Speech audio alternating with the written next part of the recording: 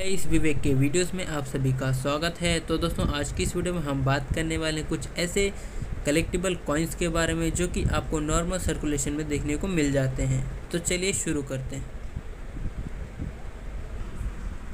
तो दोस्तों, जैसा कि आप यहाँ पे कॉइन्स देख रहे हो, ये सभी के सभी नॉर्मल सर्कुलेशन में कॉइन्स मुझे मिले हैं दोस्तों। और ये कॉइन्स दोस्तों बहुत ही ज़्यादा कम दिखाई देते हैं मार्केट में। ये वाला जो कॉइन देख रहे हो दोस्तों लिटरली मुझे एक बार आज तक मिला है और मैंने तब से इसको कलेक्ट कर लिया है और उसके बाद से एक भी कॉइन इसके जैसा मुझे मार्केट में नहीं मिला दोस्तों। तो बात करते हैं अपने अगले कॉइन की तरफ़ दोस्तों, ये जो है सरदार वल्लभ भाई पटेल का कॉइन जो दो रुपये में दो रुपये का सिक्का है दोस्तों, ये भी आपको नॉर्मल सर्कुलेशन में देखने को मिलेगा। ये वाला जो एक रुपये का सिक्का है दोस्तों तो ये भी एक अगर आप कलेक्शन में रखते हैं तो आपके कलेक्शन की वैल्यू बढ़ाने वाला कॉइन है दोस्तों। ऐसे जो पुराने कॉइन्स है, बहुत ज़्यादा इनकी अब डिमांड बढ़ गई, क्योंकि ये जो कॉइन्स बहुत कम बचे हुए हैं मार्केट में। तो दोस्तों, ये वाला जो कॉइन है, ये भी नॉर्मल सर्कुलेशन का है कॉइन और लोकनायक जयप्रकाश नारायण की जन्म शताब्दी पर ये कॉइन्स बनाए गए थे दोस्तों, और ये कॉमन सर्कुलेशन के कॉइन्स हैं, इनको आप कलेक्ट करेंगे तो आपके जो कलेक्शन है, उसकी वैल्यू बढ़ जाएगी दोस्तों।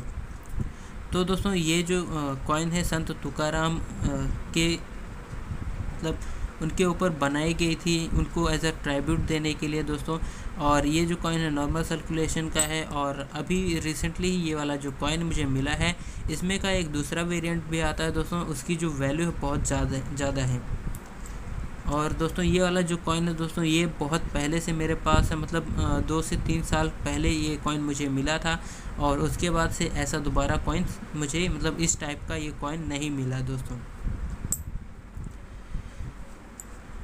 तो दोस्तों, ये जो कॉइन आप यहाँ पे देख रहे हो, छोटे फार्मर्स को डेडिकेट करके ये कॉइन्स बनाए गए थे दोस्तों। और ये कॉइन्स जो है मार्केट में अवेलेबल हैं, लेकिन बहुत ही कम दिखाई देते हैं। तो अगर आपको ये मिलेंगे तो आप अपने कलेक्शन में ऐड ज़रूर करना। तो दोस्तों, बात करते हैं इस एक रुपये के कॉइन के बारे में दोस्तों। तो जैसा कि आप यहाँ पे देख रहे हो दोस्तों, ये वाला कॉइन कितना ब्यूटीफुल है और ये 1975 में बना हुआ है और ऐसे कॉइन्स दोस्तों बहुत ही कम मार्केट में देखने को मिलते हैं। अगर आपको देखने को मिल गया मार्केट में तो आप तुरंत से ही इसको कलेक्ट करके अपने कलेक्शन में ऐड ज़रूर करना।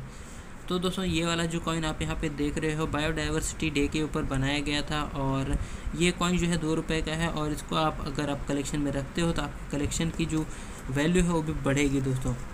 तो दोस्तों, ये वाला जो कॉइन आप यहाँ पे देख रहे हो, संत ध्यानेश्वर महाराज के ऊपर मतलब उनको ट्राइब्यूट देकर बनाया गया था, एक रुपये का कॉइन है दोस्तों। तो दोस्तों, फ़िलहाल यही कुछ ऐसे कॉइन्स है जो मेरे पास कलेक्शन के लिए अवेलेबल है। तो दोस्तों, आज मैं आपको कुछ ये जो कॉइन्स आप यहाँ पे देख रहे हो, एक और ये एक रुपये का जो कॉइन आप यहाँ पे देख रहे हो, इसके बारे में कुछ इंटरेस्टिंग चीज़ दिखाता हूँ मैं।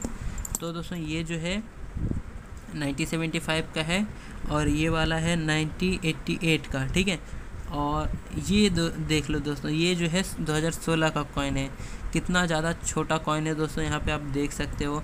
और अगर इसको हम इससे कंपेयर करें तो ये इसके सामने पचास पैसे या फिर पच्चीस पैसे के आसपास का दिख रहा है दोस्तों। तो आप समझ ही सकते हो कि जैसे जैसे महँगाई बढ़ी है और इन इन जो सिक्कों की क्या बोलते हैं, कीमत घटी है तो इनका साइज़ भी घट गया है दोस्तों। और इसके साथ ही अगर आपके पास कुछ ऐसे कॉइन्स भी अगर आपको कलेक्शन में मिल जाते हैं तो बहुत ज़्यादा अच्छी बात है दोस्तों। क्योंकि ये जो कॉइन्स हैं फ़ॉरेन के कॉइन्स हैं और ये जो कॉइन है दोस्तों, मुझे ऐसा पाँच रुपये मिला था। ये एक पाउंड है, आप यहाँ पे देख लो। ये एक पाउंड है। मुझे एक, ये मतलब पाँच रुपये के एक्सचेंज में मिला था दोस्तों।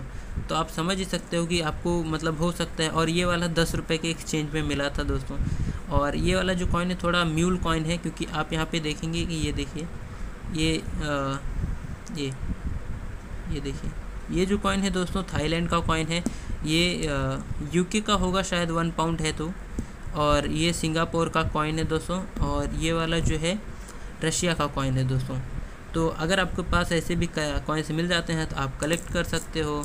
और उम्मीद करता हूँ वीडियो अच्छी लगी होगी। वीडियो अच्छी लगी तो वीडियो को लाइक करके चैनल को सब्सक्राइब कर दो और मिलते हैं अगले वीडियो में। बब bye have a great day